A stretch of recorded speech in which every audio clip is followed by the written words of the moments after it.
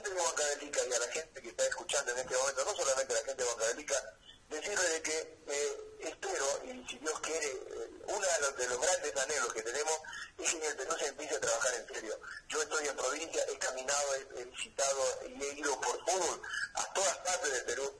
Yo encuentro que en el Perú necesitamos urgente, urgente infraestructura para practicar el deporte este. Porque yo le quiero decir esto a las autoridades, es muy importante que las autoridades piensen en un puente, en el agua, en la luz, en el desagüe, en las vías de comunicación, pero es muy importante pensar en la niñez, en la juventud. No estamos trabajando en etapas formativas, eso nos falta. Nos falta capacitar a la dirigencia, nos falta capacitar a los que enseñan, nos falta mucho por hacer.